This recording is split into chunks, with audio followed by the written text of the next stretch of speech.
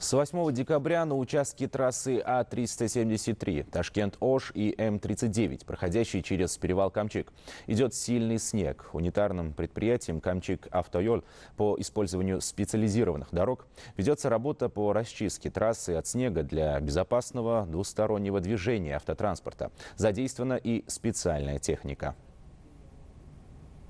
Густой слой снега уже давно покрыл Камчикский перевал, соединяющий столицу с Ферганской долиной. Это обычная картина дня зимнего периода. Однако в этом году температура воздуха здесь намного ниже. И это не могло не сказаться на пропускной способности и безопасности движения транспорта. За участком перевала магистрали Ташкент-Ош следит унитарное предприятие Камчех Автоёл. На сегодняшний день в структуре предприятия 10 дорожных отделов. Подрядные и строительно-ремонтные отделы позволяют водителям чувствовать себя уверенно на дороге. Начиная с 8 января этого года уровень снега находится на отметке в 70 70-80 сантиметров, а кое-где доходит и до метра. Температура минус 22-23 градусов. Но все это никоим образом не повлияло на график работы дорожных служб. Комитет автомобильных дорог полностью обеспечил свое подразделение самой востребованной специальной техникой. Более тысячи работников вместе с современными агрегатами держат руку на пульсе.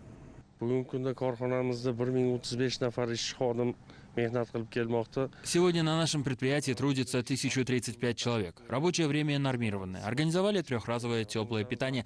По инициативе руководства нашего комитета привлекли к деятельности дополнительно 30 единиц спецтехники. Работа на дорогах не останавливается ни на минуту.